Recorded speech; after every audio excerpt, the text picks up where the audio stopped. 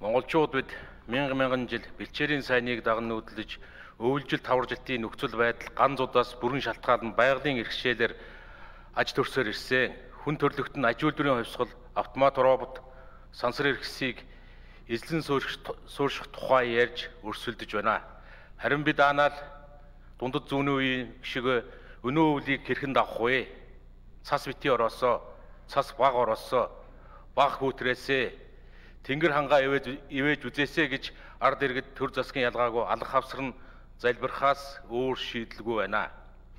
Хариуцсан яам хариуцсан яамны чаддаг ажил нь өвлжил таваржилтын бэлтгэл ажил гэж бэлтгэсэн өвс тэжээлийн мэдээ цуглуулан шивх цаг хүндрүүл хэдэн пресс өвс онцгой фондоос аваач чүх их сайндаа улаан буудаа импортын тэжээлийн нөөтийн татвар гайлын татварыг чөлөөлөх санал оруулах төдийх нь Ярддаг сэдв нь өнөө өвлийг яаж охирол багтаад давах вэ гэж ярихаас биш 10 жил битгий хэл 3 жилийн дараах бодлогын асуудлууд, экспорт, хөдөлмөрийн төрөлжилт, тариаланчдын орлого, малын түүхээдийн боловсруулалт зэрэг асуудлууд орхигдсоор удлаа.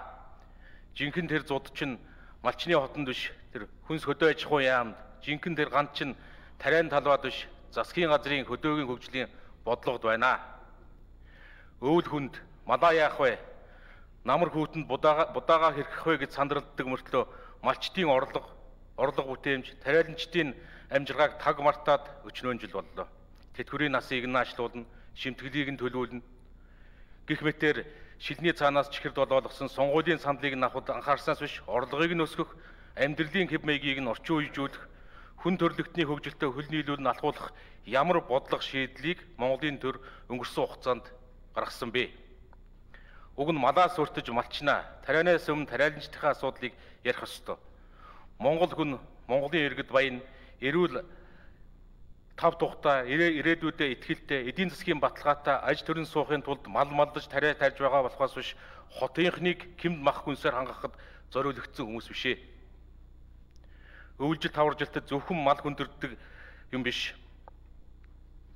малчид тариаланчид мал ургацаасаа илүү илүүтэй зутардаг. Ийм ч учраас залуусан алширч, огтуд нь зүхтаж, хөдөөд хүүсийн тэнцвэр алдагдаж, Монголын ирээдүй маргааш Монголын ирээдүй маргаашд аюулын халан харангад ирэлцээр байна. Хүнээ матаж мал буудааг чухалчилсан тэр мангар бодлого эцэс болох ёстой. Өнөөдрийг аргалсан нэг өвлийг аргацаасан ийм бодлогыг цаашид үргэлжлүүлэх аваас зөвхөн мач тариаланчдын ирээдүйгээр зогсохгүй Монгол улсын үндэсний аюулгүй байдалд аюул үүсэх нөхцөл байдал үүсэж байна. Монголын хөдөө аж ахуйн салбарт эртнээс эртнээс эдүгэ хүртэлх бидний түүх үндэсний ялгарл ёс заншлыг тээсээр ирсний онцлогтой салбараа. Энэ онцлог ялгаа нь хадгалагдсан орчин үеижүүлэх бодлогыг эрх баригч та бүхний үе үеийн засгийн газар даанч хэрэгжүүлсэнгүй. Ахиад сануулхад Монголын хөдөө аж ахуйд энэ үлийг яах вэ гэсэн арга заасан бодлого биш малчид тариаланчдын орлого амжиргаа яавал дээшлэх вэ гэдэг улсаараа хэрхэн урагшлах вэ гэдэг хувьсгалт өөрчлөлт энэ салбарт хүлээгдэж байна.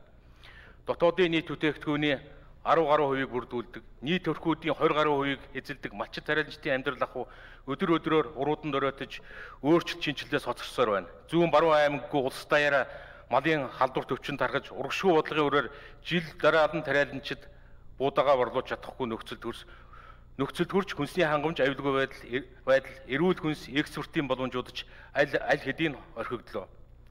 Малаа жахуудаж газар тариаланд ч элдв янзын татаас урамшуулыг өгч аргалахаас өөрөөр ажилд хэрэг бодлого яригдсангүй.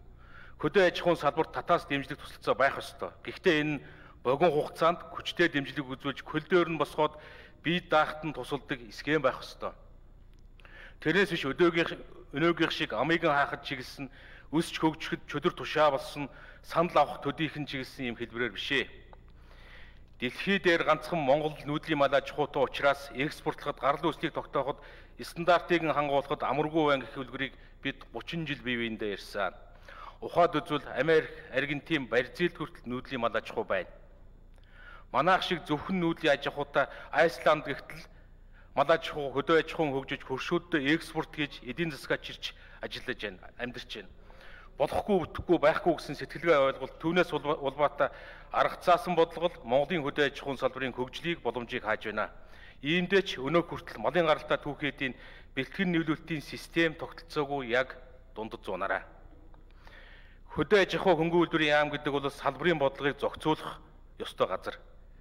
Гэтэл өнөөдөр уг салбарын гэтэл уг яам энэ салбарынхаа хамгийн том тоглогч бизнесмен болчиход байж байна. Бордоо, ургамлын хамгааллын бодис нийлүүлдэг, үр нийлүүлдэг, техник оруулж ир зардаг, зээл олгодог, бүтээгдэхүүн худалдаж авдаг гэд кику бизнесийн яамд алгаа. Татвар төлөгчдийн мөнгөөр татвар төлөгчдтэйгөө өрсөлдөж үзэлцэх гэрнээ татаас хөнгөлтийг тасралтгүй өгөх мөртлөө өр зээлэндээ баригдсан төсвийн мөнгийг гамгүй үрсэн сангуудаа тийм том мангас болчиход байна. Үүнийгөө өөрчилж салбарыг төрийн хяналт оролцооноос яаралтай чөлөөлж бодлогын дэмжлэг үзүүлж экспортод зорихгүй бол хөдөө аж ахуйн салбарт нөлөөлсөн ган зуд гам шиг ахаад цаашаа үргэлжилнэ. Хөдөө аж ахуйн салбарын үндсэн бүтээгдэхүүн хүнс. Хүнс үйлдвэрлэн гэдэг алхам тутандаа стандартыг сахиулах ёстой. Стандартыг нь хангавал нүүдлийн байна уу, эрчимдсэн байна уу гэдгээс үл хамааран экспорт хийх боломж дэлхийд даяар байна. Гэтэл экспорт хийж чадахгүй байгаагийн хамгийн том шалтгаан нь вакцинтай мах антибиотик химийн үлдэгдэлтэй сүү, сүү хүнсний ногоо, цоорхоо арьс. Үүнийг өөрчлөх, сайжруулах, стандартыг нутагшуулах, мөрдүүлэх чиглэлд өдийг хүртэл хариуцсан яам нь яг юу хийсэн бэ? Ямар ахиц гарав гэдгийг өөрсдөөсөө бас нэг асууцгаая. Өнгөрсөн нийгмийн үед өр зээл тавин байж улсаараа хөдлөн атар газар эзэмшин малыг нийгэмчлэн нэгдэлчих гэсэн оролдлогыг хийсэн. Зах зээлийн харилцаанаас бол хэрэглэгчийн хүсэл сонирхол тулгуурлаагүй оролцогч талуудын сонирхлыг тусгаагүй тул уг шийдэл амжилт боллого нуруу онсныг бид нар бүгдээрээ мэднэ. Өнөөс хойш буруу зөв нь хамаагүй бодлогын шинжилтийн өөрчлөлтийг өөрчлөлтийн шинжтэй ямар ч ажил хийгдсэнгүй. Хүнс хөдөө аж ахуй хөнгөн үйлдвэрийн салбар 20 жил 20 жилийн өмнө нийт экспортын 60 орчим хувийг бүрдүүлж байжээ. Өнөөдөр 10 хүрэхгүй хувь болж агшиж жижигэрсэн. Энэ бол эрх баригч та бүхний амрыг нь бодож ухаж ачаад урагш хил гаргаад асгадаг нүүрсийг чухалчилсан бодлогын л үр дүн. Уг нь малын түүхийд мах сүү газар тариалангийн бүтээгдэхүүнийг боловсруулсан бүтээгдэхүүний экспортыг дэмжих зөв бодлогыг хэрэгжүүлсэн бол ард нь ажлын байр ахиуц нэмэн өртөг ихээр өсч улс орны эдийн засагт оруулах хувь нэмэр хувь хувь нэмэр хүртээмж хавь үлээ байсныг байсан байх нь дамжиггүй. Хөдөө аж ахуйн салбарт хэрэгжүүлэх бодлого алдаагаа олж оншоо зөв тавихаас эхлэх ёстой. Капиталист эдийн засаг масс үйлдвэрлэлд төвлөрлийг илүү шаарддаг. Энэ нь бусдаасаа хол бэлчээр дагаж нүүдэлдэг нүүдлийн малаа жухуута огтлцдаггүй. Ийм ч учраас энэ ялгааг нь ойлгож үндэсний онцлог соёлын ялгаан дээр тулгуурласан өвөрмөц бүтээгдэхүүнийг хөгжүүл төрөлжүүлэх шаардлага байгаач төр засгийн зүгээс юу ч хийгдсэнгүй. Газар нутгийн онцлог бүтээгдэхүүн боловсруулах уламжлалт арга ажиллагаанд тулгуурлаж айрагны сарлагын ямааны зэрэг эдийн засгийн бүс кластерууд үүсэх боломжтой. Үүний тулд үйлдвэрлэлийн технологи боловсруулалт, савлгаа, тээвэр, логистик, өртгийн сүлжээний бүх шаардлагад тавих шаардлага стандартыг тодорхой зааж өгч хэвшүүлэхэд анхаарах ёстой. Үүн дээр санаачлаг гүйцэтгэл дутагдж байгаагаас биш хүн сөдөж чухал бүтээгдэхүүний экспорт хийгдэхгүй байна. Энэ энэ стандарт шаардлагаар дамжиж хөдөлмөр төрөлжиж бүтээгдэхүүн ялгарч бүтээмж өсөх болно. Үр дүнд нь хилцлийн зардал, транзакшн кост буурах, зах зээлд оролцох талуудын тоо олшиж, өртгөн буурч оролцох талуудын хэн хэн хожно. Дэлхийн нийт органик хүнс хүнс цэвэр байгалийн бүтээгдэхүүнүүд рүү хошуурсаар гэтэл бид байгалийн гаралтай малын мах, сүү, түүхэд газар тариалангийн бүтээгдэхүүнээ ямар үнээр аль нутг руу борлуулж байгаа вэ? Борлуулах, боловсруулах биш ихэнх нь хаягдл болж үлддэг боллоо. Амаараа бол бид нэр органик эрүүл хүнсний тухай улс төрчид олон жил ярьсан. Ахиц болгосон экстэй шийдэл харин байхгүй. Услалтын систем, туслын услалт, вертикал фарм, өрн шигүү эдний шүүлэлт, гарал үүслийн мөшгөх тогтолцоо зэрэг салбарын технологи дэлхийд дахинд урагшилсаар байна. Өвлийг өнтөө давхаар тал талдаа хичээцгэх нь зүүн хэрэгээ. Өнтөөч сайхан үйл болоосоо гэж үүнд тал талаас анхааран бэлдээсэй гэж бид ч бас хүсэж байна. Гэвч нэг өвлийг аргалдаг дараагийн өвөлд яхаа мэдхгүй мөрөө хавчин аль болох ажил төрөх вэ? Энэ өвлийг эсэмэнд давлаач дараагийн өвөл хүлээж өө эрс шинжил өөрчлөлтүүд хийгдэхгүй бол 5 10 50 жилд ч ийм л байна. Энэ бүхэн бол өдийг хүртэл засгийн газар хөдөө аж ахуйн талаар бодлого, баримтлах бодлого стратеги тодорхойлоогүй нь л гай. Бодлого гэхээр ган зууд, гам шиг осол, өвөлжил, таваржил гэх мэт цаг зүүрийн цаг зуурын хүндрэлийг ярьдаг байдлаасаа болгоцоо гэрсэн. Монголын хөдөө аж ахуй цаашид тооны их рүү 100 сая мал сая эргэлтийн талбай эзэмших чиглэлд явах юм уу?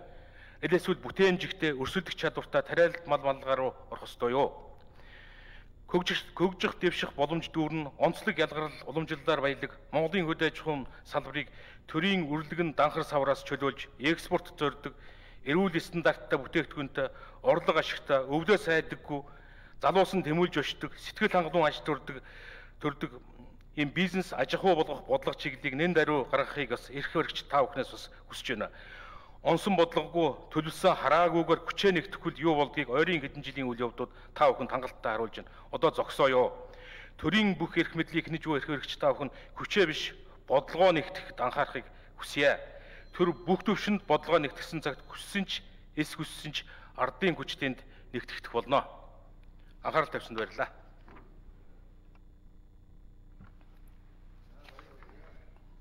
За ажлын хэсгийн гишүүдийг танилцуулъя. Хүнс хөдөө аж ахуй